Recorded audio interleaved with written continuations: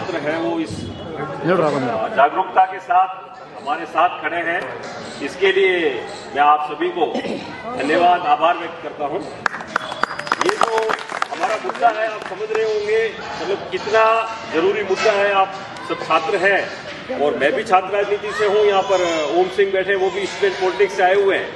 तो मैं आपसे ये निवेदन है कि इस हरियाली स्कूल को व्यवस्थित तरीके से सुसंचालित करने के लिए आप और हम लोग जितनी मेहनत कर सके जितना हम साथ रह सके वो सारी हमें कोशिश करनी है।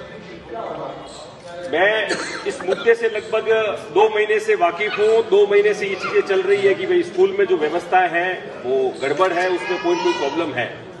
कुछ लोगों का कल से मेरे पास मैसेज आ रहे थे कल से कह रहे थे कि भाई ऐसी कोई प्रॉब्लम नहीं है। सुचारू ढंग से चल रही है। तो हमने बोला कि वहाँ के जो स्टूडेंट है वो झूठ नहीं बोल सकते। और उन्होंने बोला है कि भाई हमें यहाँ पर समस्या है तो उस समस्या के समाधान के लिए भले ये सिंबॉलिक प्रोटेस्ट हो भले संख्या बल इतने ज़्यादा नहीं हो लेकिन हम उस चीज़ के लिए अंतिम लड़ाई तक लड़ेंगे और इस स्कूल की व्यवस्थाओं को सुधारने के लिए हमारी तरफ़ से जो भी कोशिश होगी हम आपके साथ खड़े रहेंगे किसी भी बात हो नेतागणों में मतभेद हो, लेकिन मेरा ये मानना है कि किसी भी सोशल इश्यू पे हमारे बीच में मतभेद नहीं होने चाहिए।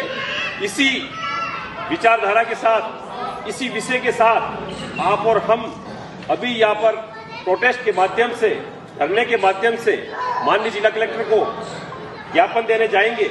उसमें आप सभी लोगों का जो सहयोग रहा, उसके लिए आपका धन्यवाद। और आदरणीय लाल सिंह जी आसूबा जी और इन सभी लोगों ने जो ये प्रोटेस्ट के लिए जितनी मेहनत करी, उसके लिए सभी का धन्यवाद। इन बातों के साथ, इसी वाणी के साथ मैं अपने वक्तव्य को विराम देता हूँ। जय